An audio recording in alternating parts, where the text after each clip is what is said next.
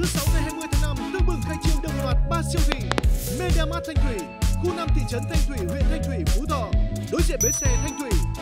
MediaMart Hoàng Mai, số 254 Nguyễn Tất Thành, khối Bắc Mỹ, phường Quỳnh Thiện, thị xã Hoàng Mai, Nghệ An. Đối diện khách sạn Mường Thanh Hoàng Mai.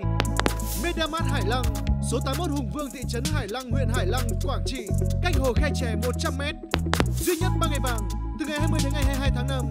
Giờ vàng giá sốc, bình siêu tốc inox 1,8 lít Kipor giảm 48%, giá siêu sốc 99.000 đồng. Nâng cấp điện cơ 1,8 lít Xoan Hầu giảm 50%, quạt lượng Senko giảm 39%, máy giặt sinh tố Xoan Hầu giảm 30%, giá sốc 299.000 đồng. Nhân dịp này, MediaMart mang đến chương trình khai trương giảm giá lớn đến 50%. Điều hòa, tủ lạnh, máy giặt, TV, đồ gia dụng giảm giá tặng thêm quà. Điều hòa một chiều 9 000 BTU giảm 36%, giá sốc 4 triệu 490 000 đồng. Tủ lạnh hai cánh soát 180 lít giảm 18%, máy giặt lồng ngang Aqua Inverter 8 kg giảm 42%, giá sốc 4 triệu 990 000 đồng.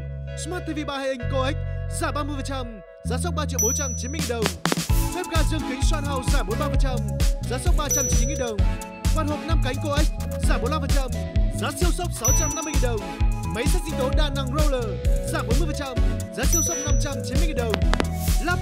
Laptop đồng loạt giảm giá tặng thêm quà. Laptop Lenovo IdeaPad 1 giảm 25%, giá sốc 7 triệu 990 000 đồng.